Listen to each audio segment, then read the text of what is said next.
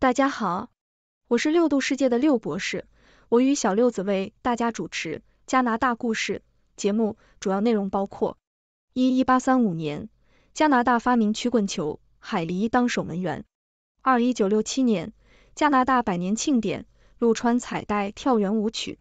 三、二零零一年，加拿大首次在线投票，鸽子误以为是新社交网。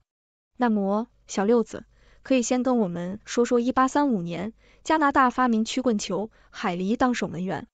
好吧，让我们来谈谈这个有趣的历史小插曲。幺八三五年，加拿大发明了曲棍球，而海狸担任守门员。首先，我们的承认这个说法有点夸张，但它确实揭示了加拿大文化和曲棍球历史中的一些有趣元素。首先，曲棍球，或者更准确的说，曲棍球的早期形式。的起源可以追溯到几个世纪前，当时加拿大的土著民族就在玩一种类似的游戏。不过，一八三五年这个日期可能是指曲棍球作为一种组织化运动开始形成的时期。当时的加拿大人开始制定规则，并将这项运动带入了更正式的竞赛场合。现在，让我们来谈谈海狸这个角色。海狸是加拿大的象征之一，它代表了勤劳和坚韧不拔的精神。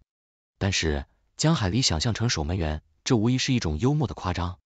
想象一下，一只毛茸茸的小动物站在冰上，用它那强壮的尾巴来挡住飞速划来的曲棍球，这画面无疑是既滑稽又可爱的。当然，实际上海狸并没有参与曲棍球比赛，这只是一种幽默的说法，用来强调加拿大人对这项运动的热爱以及他们对国家象征的自豪感。曲棍球在加拿大不仅仅是一项运动，它是一种文化，一种生活方式，它凝聚了社区，激发了国家的激情。所以。下次当你看到一场曲棍球比赛时，不妨想象一下，如果海狸真的是守门员，那场比赛会有多么的不同寻常。这个想法或许会让你微笑，也提醒你曲棍球和加拿大的关系是多么的独特和深刻。谢谢小六子的介绍，那再跟我们介绍一下一九六七年加拿大百年庆典陆川彩带跳圆舞曲。好的，让我们来谈谈一九六七年，这一年对加拿大来说是个大喜的时刻，加拿大百年庆典。想象一下。整个国家都沉浸在节日的氛围中，从大西洋到太平洋，从北极圈到美国边境，加拿大人都在庆祝他们年轻而又多元的国家走过了整整一个世纪。在这样的背景下，有一个画面可能会让你忍俊不禁：陆川彩带跳圆舞曲。当然，这不是字面意义上的鹿，而是一个充满幽默和创意的场景，反映了加拿大人在这一年的庆祝活动中所展现出的幽默感和轻松态度。想象一下，一群穿着节日服装的加拿大人。他们在一个装饰住五彩缤纷彩带和枫叶的广场上跳着圆舞曲，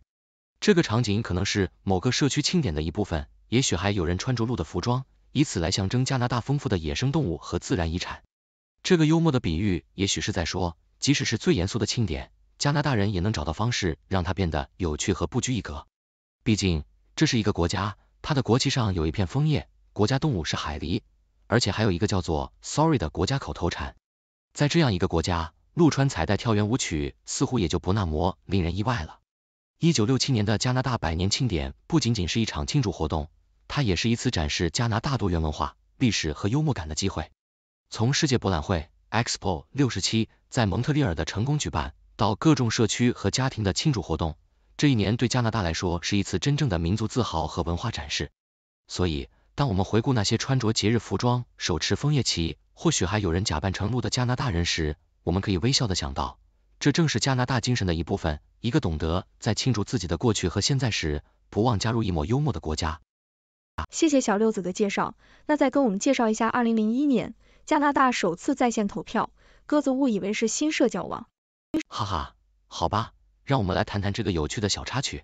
想象一下，是二零零一年，互联网还在它的青少年时期，社交媒体还没有成为我们生活中的巨大部分。而加拿大却在这个时候决定走在科技的前沿，开始尝试在线投票。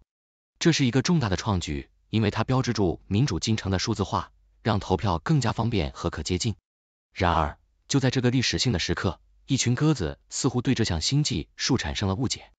这些天真的鸟儿可能以为这些闪亮的屏幕和奇妙的线路是他们新的社交场所，就像是鸟类的 Facebook 或者 Twitter。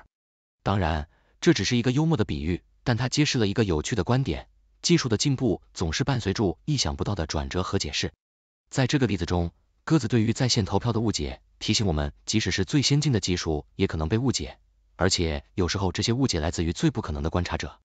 当然，鸽子并没有真的误以为在线投票是新的社交网络，但这个幽默的想法提供了一个有趣的视角来看待技术的发展和它在社会中的影响。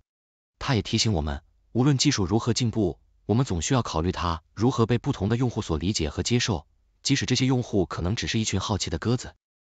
总结来说，这些历史小插曲向我们展示了加拿大人民独特的幽默感和轻松的态度。无论是海狸担任守门员，陆川彩带跳圆舞曲，还是鸽子以为在线投票是新的社交网，这些故事都揭示了加拿大文化中的幽默元素。这些小插曲的幽默之处在于，它们带给我们微笑和欢乐，同时也反映了加拿大人对自己的国家和文化的自豪感。曲棍球不仅仅是一项运动，它是加拿大的象征，代表着社区凝聚力和国家精神。一九六七年的百年庆典展示了加拿大的多元文化和幽默感，以及加拿大人在庆祝活动中展现出的轻松态度。而二零零一年的在线投票则提醒我们，技术的进步可能会带来意想不到的解释和误解，即使是鸽子也会被新技术所迷惑。所以，让我们对这些历史小插曲微笑并感到骄傲，因为他们展示了加拿大的独特和幽默的一面。让我们在欢乐中庆祝加拿大，继续欣赏和珍惜这个充满幽默和轻松的国家。好了，现在该是你们参与讨论的时候了。你有什么样的想法？你对加拿大的幽默和轻松文化有什么看法？请在评论区留言，让我们一起分享和探讨吧。谢谢大家收看六度穿越系列节目。这个节目由媒体专业人士、科学家、工程技术人员编纂、设计、制作。但是，这些内容并非用于做出决策或法律裁定的基础。欢迎在节目留言区发表您的见解，纠正节目可能存在的错误。谢谢大家收看，欢迎订阅我们的频道，给我们节目点赞。